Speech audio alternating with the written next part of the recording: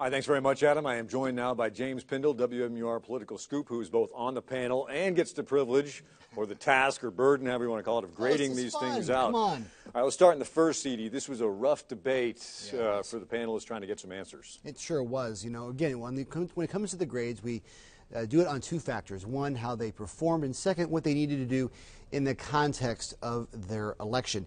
For Frank Guinta, he got, gets a C plus tonight. It was slightly above average, like a C plus. Uh, you know, Frank Guinta uh, came into this debate still very much a partisan. Both he and Shea Porter both have only won these congressional races in big swing years. Yet this district is evenly split between Republicans and Democrats and independents, and he didn't really appeal to them.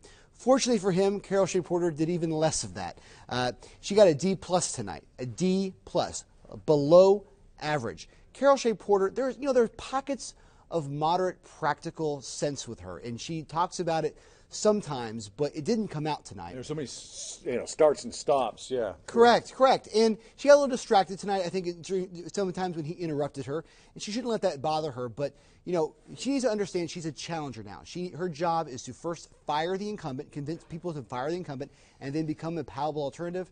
She simply did not do either task tonight.